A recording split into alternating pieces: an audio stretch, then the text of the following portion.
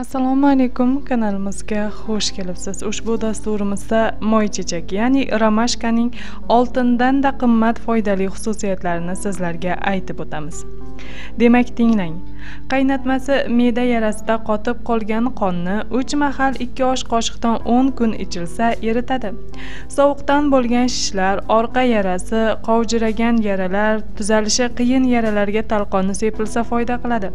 Qaynatmasiga junni botirib ho'llab bog'lansa bo'g'in og'riqlariga foyda qiladi.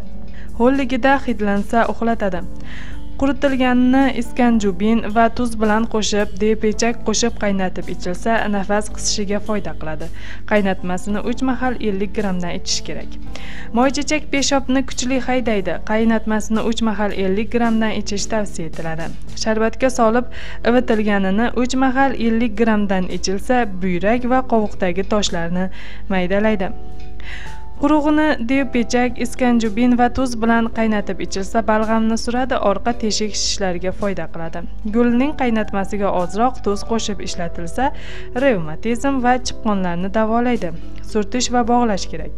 Gulning qaynatmasi talvasa o't peshob haydash surgi gastrit jigar bezgak isitma va uyqusizlik kasalliklarini davolaydi. Buning uchun 3 mahal 2 osh qoshiqdan ichish tavsiya etiladi.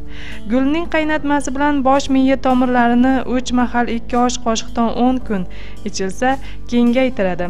Og'riqlarni qoldirib terlatadi va yel haydaydi.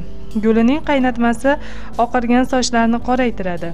Bir qism moychechak gulini uch qism qaynoq suvda uch soat damlab boshga surtib bir soat ro'mol bilan bog'lab qo'ysa soch qorayadi.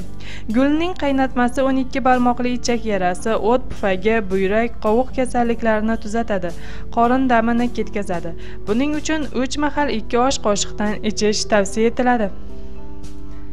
Kanalimizni kuzatishda davom eting. Dasturlarimiz sizga ma'qul kelayotgan bo'lsa layk bosishni unutmang. Sizning fikringiz biz uchun qadrlidir. Bizga bo'lgan e'tiboringiz uchun rahmat.